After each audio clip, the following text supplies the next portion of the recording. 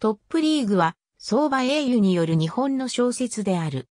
角川春樹事務所の PR 誌、ランティエに2017年1月号から7月号まで連載され、第3章の後半と最終章を過失して訂正した後、2017年10月8日に単行本が角川春樹事務所から刊行された。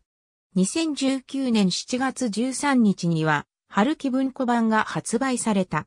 新聞記者と週刊誌記者が昭和史に残る一大義国事件の真相を追う。なお、本作のタイトルになっているトップリーグとは政治部の記者たちの中でも内閣総理大臣、内閣官房長官及び与党幹部に深く食い込むことができるエリートの記者たちのことを言う。松岡直樹は大和新聞に入社15年目にして政治部に移動となり、官房長官番となる。ある日、誰もがタブーと思いためらっていた、鋭い質問を浴びせた松岡は、官房長官の目に留まり、柴叩く間にトップリーグの仲間入りを果たす。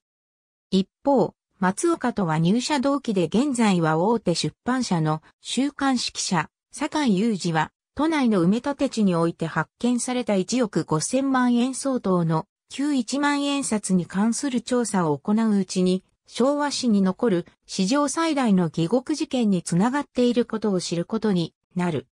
命の保証はないぞ政治部部長から浴びせられた。この言葉を胸に刻み、松岡は、堺と協力して、官邸の闇とされた、この義国事件の真相を突き止める決意をする。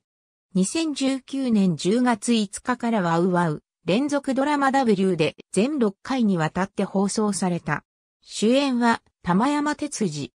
大和新聞週刊新時代編集部閣僚、政治家系市長幹事長番記者内外、情報通信社松岡家灰原家。ありがとうございます。